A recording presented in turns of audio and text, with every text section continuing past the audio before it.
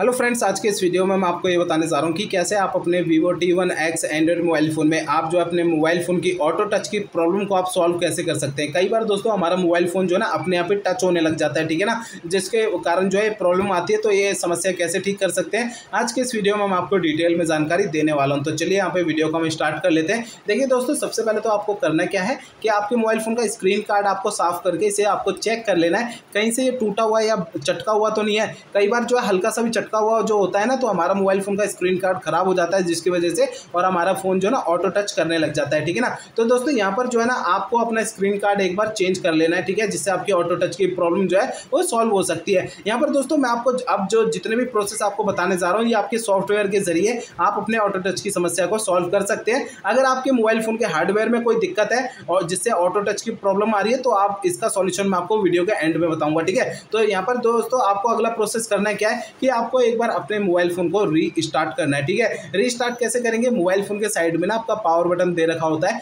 Power button को आपको उंगली से दबाना है, ठीक है? दबा के रखना है, ठीक है? तो स्क्रीन के सामने एक छोटा पेज ओपन होगा, ये वाला। इसमें आपको रीस्टार्ट का ये ऑप्शन दे रखा है। रीस्टार्ट पे आप टैप करेंगे ना तो इससे आपका मोबाइल फ़ोन जो ऑटोमेटिक स्विच ऑफ़ हो जाएगा।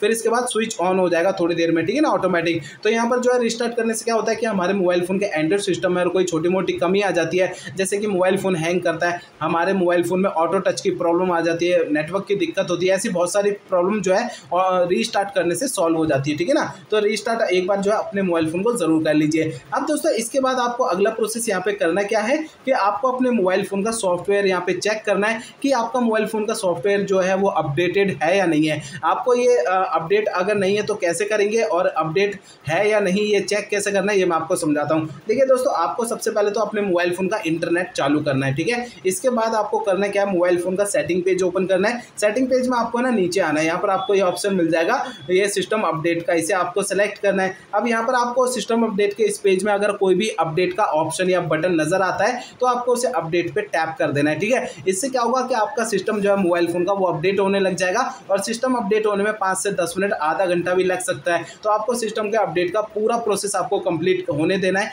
जिससे आपकी जो ऑटो टच की समस्या खत्म हो जाएगी सिस्टम अपडेट होने के बाद, ठीक है? अब दोस्तों, यहाँ पर आपको जो है ना अगला प्रोसेस यहाँ पे करना क्या है?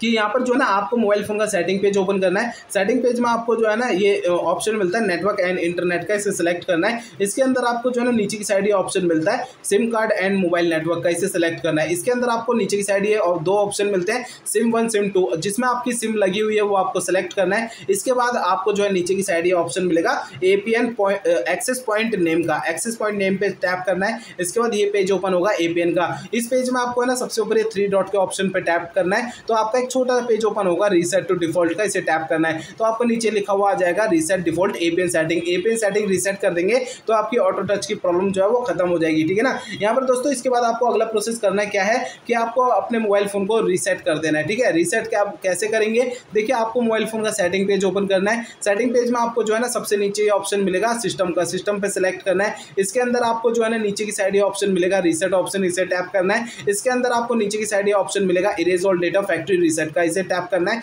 इसके अंदर आपको नीचे की साइड ये ऑप्शन मिलेगा इरेज ऑल डेटा का। इसे आपको टैप करना है। इससे आपका फ़ोन रीसेट हो जाएगा और आपकी ऑटो टच की समस्या खत्म हो जाएगी, ठीक है? ऑटो टच की प्रॉब्लम जो है वो सॉल्व हो जाएगी। यहाँ पर दोस्तों आपको कुछ बातों का ध्यान रखना है। देखिए, आप इरेज ऑल डेटा पे सिलेक्ट करने से पहले ना, आपके मोबाइल फ़ोन में जितना भी डेटा है, जैसे कि फ़ोटो वीडियो जो भी कुछ है आपके फ़ोन में, वो आपको दूसरे मोबाइल फ़ोन में ट्रांसफ़र कर लेना है पहले तो ठीक है? इसे इरेज ऑल डेटा पे सिलेक्ट करने से पहले। नहीं तो वो सारा का सारा डेटा डिलीट हो जाएगा और आप उसे बाद में रिकवर नहीं कर पाएँगे। और आपकी जी मेल फ़ोन की और जी मेल और उसका पासवर्ड आपको लिख के रख लेना है, ताकि आप जी मेल को बाद में दोबारा से लॉग कर सके, ठीक है ना? ये आपको सबसे पहले काम करना है इरेजोल डेटा पर सिलेक्ट करने से पहले, ठीक है? अब दोस्तों, यहाँ पर जो है ना, आपको अगला प्रोसेस करना क्या है?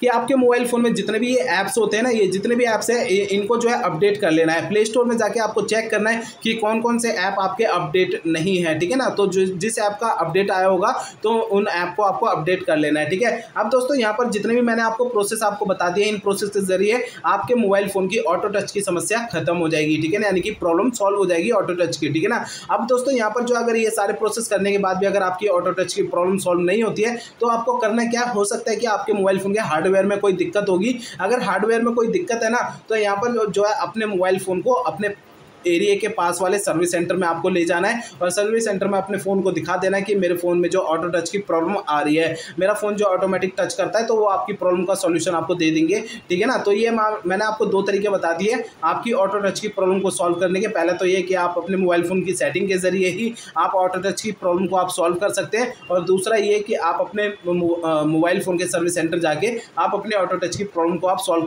करवा सकते हैं। हो सकता है कि आपके मोबाइल फ़ोन के हार्डवेयर में कोई दिक्कत हो, जिसकी वजह से ऑटो टच हो रहा है ठीक है?